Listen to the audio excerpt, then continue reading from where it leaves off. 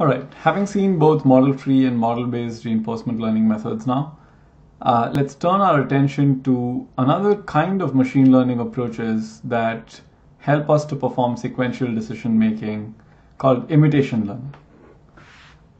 Take this!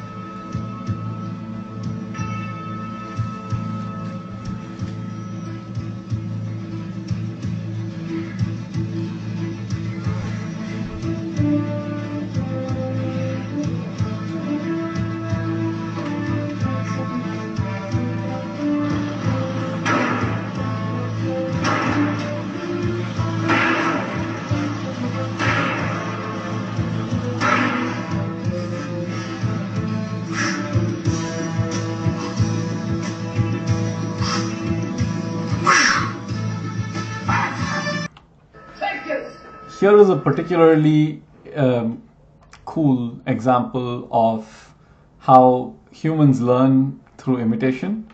Uh, and this baby um, imitates the Rocky um, montage, the Rocky practice montage. And I find it really impressive that this uh, toddler is actually able to perform all of the actions in the Rocky action, uh, Rocky montage. And there are papers also written on the topic of how uh, infants are actually able to learn from televised models. Now, imitation learning, like reinforcement learning, is more general than just robotics. Um, but it's worthwhile to look at how imitations are provided in the robotic setting. And in particular, for example, you could teleoperate a robot using controllers. Uh, you could use um, kinesthetic teaching, which means that you move the robot's arms to um, to figure out uh, the robot's joints to um, help it figure out how to move. Uh, or you could use motion capture to record a human's motions and then translate it into a robot. Or you could use even web video and learn from third person video of how a person is moving to imitate. Right? All right, let's look at a technical approach for uh, imitation learning. And the, the approach that we look at at the beginning is the most simple thing. But let's start from the policy gradient approach for model-free reinforcement learning and look at that expression that we've seen a few times now. And once more, let's just parse it uh, to remind ourselves the first couple of terms have to do with summing over trajectories and summing over time steps within the trajectories. The third step is the likelihood gradient that says change the policy to make these actions more likely. Now, the fourth step in the policy gradient case was how good was this trajectory or how good was the rest of this trajectory, right? Now, if you had access to demonstrations from experts and the trajectories that you were summing over were demonstrations from experts and you knew that the experts were deploying the optimal policies, then think about what you might change here. Right? Do you anymore need a critic to tell you how good this trajectory was? Because you're given in advance that this is a trajectory that was performed by an expert. Then why would you need to keep this critic around? So here is one suggestion for how to change this. If you have demonstration data and these are the expert actions that you're trying to make more likely, then you could completely get rid of that third term because expert actions are, after all, optimal and they're all equally optimal. Uh, that's the assumption. And so at that point, really all that you're saying here is you're going to try and maximize the likelihood of the action given the input state at every time step of every every expert trajectory. All right? And this should begin to look quite a lot like maximum likelihood training because that's exactly what it is. All that you're doing, doing is maximizing the likelihood of the expert actions given the states that were input to the expert. And so you're simply treating this problem as a supervised learning problem where you take the expert trajectories and the actions um, that the experts performed at the states that the experts encountered and you're using those s comma a pairs as your x comma y pairs in supervised learning so you're really just doing supervised learning um, of this probabilistic model maximizing the likelihood of it. It need not necessarily be probabilistic. Um, but yeah, you're doing maximum likelihood training here to map from expert sensory inputs to expert actions. So you have this data set of S comma A pairs where S are the states encountered by the experts, A are the states encountered by the actions, and uh, you're going to do supervised learning on that. Right? This approach is called behavioral cloning.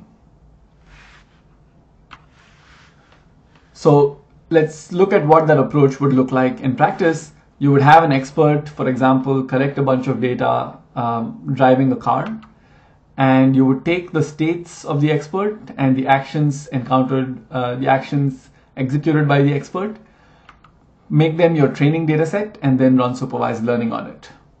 And uh, that's how you would train your policy pi theta of AT given ST. And typically you would use um, a policy that might look like a convolutional network, for example.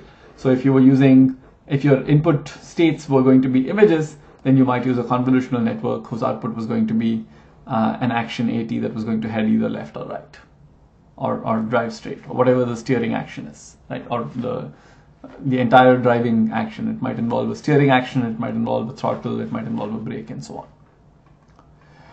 Okay, so one issue with this really simple scheme, and by the way, this simple scheme is super easy to implement, obviously, and it's surprisingly good in practice. It's very often very good. But a common problem that you run into with behavioral cloning is distributional shift. And this issue is essentially that, as we've seen, once you have a large enough data set and you have a high dimensional, uh, high dimensional input space and so on, it becomes really hard to train a perfect model. It becomes really hard to train uh, a model with completely zero error that generalizes well, etc. And at that point, you should expect your model to be off by at least a little bit. So even if you train a really good model, it's very unlikely that it will be perfect. And then what happens is that let's say that your training trajectory was this black trajectory and that's what you're trying to imitate and your um, pi theta um, produces the red trajectory where it's producing almost exactly the same trajectory at the beginning, but really over the course of time, the small errors in the policy compared to the expert keep compounding until you end up in a completely different part of the input space, right? You could imagine this, for example, in a navigation setting where the expert policy was on the road, it was driving right down the center of the road, and the um, the policy that was cloned on the uh, that was trained with behavioral cloning on the expert policy um, was uh, driving near the center of the road at the beginning, but then kept drifting off and drifting off and drifting off until it was completely off the road, right? Um, just through this kind of compounding error over time. So the clone policy is imperfect. This leads to accumulating errors. And importantly, what happens is once you're off the trajectories that you trained on, remember that the black trajectories were the ones you trained on. And once you're away from the trajectories that you trained on, then you're encountering states that you've never seen before. And at that point, things are only going to get worse. Right? So you might imagine, for example, at this point, that uh, you're suddenly at a point where the, the states that you're encountering are really far away, and so things are going south very fast. So a solution to this that's very general and it's very widely used to fix behavioral cloning is Dagger. And in Dagger, the idea is to say that it's okay to encounter unfamiliar states when you first execute your policy, um, but then what you're going to do is go back to your expert policy and ask the expert policy to provide new labels. So for example, if a human who's driving the car is your expert policy, then you'll ask the human once more to, to tell you what you should have done on the new states that you encountered. And that will give you your new data set that you will add to your imitation learning data set, and then you'll retrain your policy, and you'll keep repeating this over and over. So to put that a little bit more clearly, uh, let's first train our policy from the original demonstration data D, um, then run our pi theta that we've trained to get a new data set with, uh, with several observations. Right? Uh, those observations are going to be produced as a function of the actions that the policy executed, right? And so they're almost surely going to be from a different domain from the data that we originally trained on because you're going to go off the road, remember? And so you will ask the human then to label that data set with the actions that would have uh, been optimal for those states that you encountered. So you you learn, for example, that if you're veering off the road, then you should correct to come back to the center of the road. And that will be the action that the human provides. And therefore, you can now aggregate that into your data set so that the next time when you train a policy and you run it, those same states where you were going off the road, uh, off the center of the road, are no longer um, are no longer out of distribution, and so you don't fail quite as spectacularly. And the few failures that you have left are going to be relabeled by the human and you repeat this process over and over. And usually within a handful of iterations of this, you have converged to a policy that is able to perform fairly well. So this behavioral cloning plus Dagger approach is quite widely used. All right, so we've seen one class of approaches for imitation um, called behavioral cloning, which essentially reduces to supervised learning on the expert SA tuples plus some little tricks like Dagger. There are several other kinds of imitation approaches as well, and maybe the second most important category is inverse reinforcement learning, where you try to run reinforcement learning on a reward function that is inferred from human demonstrations. So you'll explicitly use the human demonstrations to identify a reward function, and once you have that reward function, all that's left to do is run reinforcement learning. Right?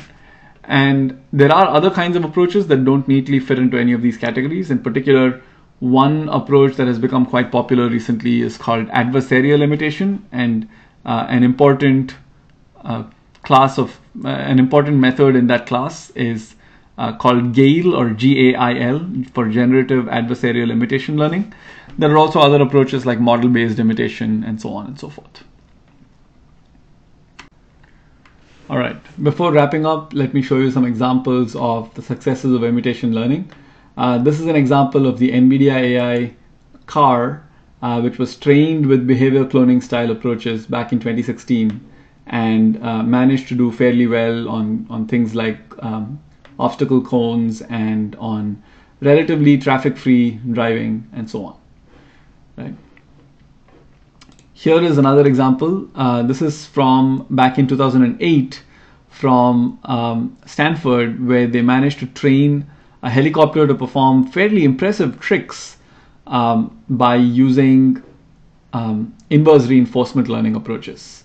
And uh, for example, you could teach a helicopter to fly upside down and all kinds of other stunts from demonstrations by a human expert. So this was really impressive um, all the way back in 2008.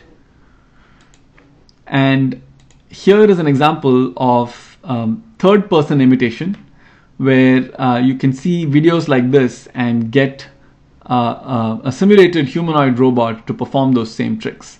And you can learn all these impressive uh, acrobatic tricks by looking at human demonstrations of them, right? Third person demonstrations with a different embodiment uh, and so on. So you would uh, effectively, in this case, um, recognize the human pose using computer vision methods and then try to imitate that exact same human pose with the robot and use that as an approach for um, imitation.